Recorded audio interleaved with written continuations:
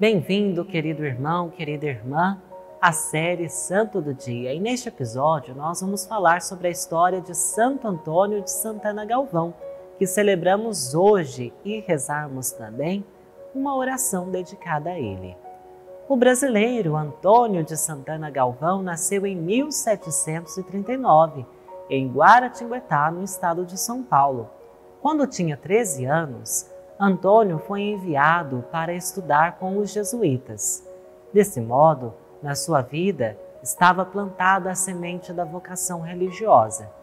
Aos 21 anos, Antônio deixa os jesuítas e entra para a Ordem Franciscana no Rio de Janeiro.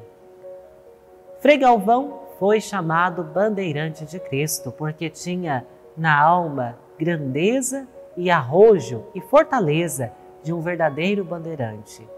Renunciou a uma brilhante situação no mundo para servir a Jesus Cristo.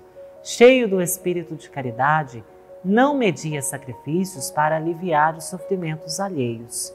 Foi considerado santo mesmo já antes de sua morte. E agora, vamos rezar juntos uma oração dedicada a Santo Frei Galvão. Santíssima Trindade, Pai, Filho e Espírito Santo. Eu vos adoro, vos louvo e vos dou graças pelos benefícios que me fizestes. Peço-vos, por tudo o que fez e sofreu o vosso servo, Frei Antônio de Santana Galvão, que aumenteis em mim a fé, a esperança e a caridade, e vos digneis conceder-me a graça que ardentemente almejo. Por Cristo Senhor nosso. Amém. Encerramos por aqui este nosso episódio.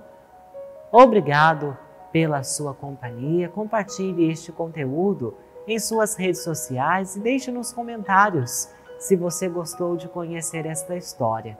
Para saber mais sobre esta e outras histórias de santos, acesse a 12.com/barra Santo do Dia ou o aplicativo Aparecida e fique por dentro de todas as datas relacionadas aos santos e as orações dedicadas a eles.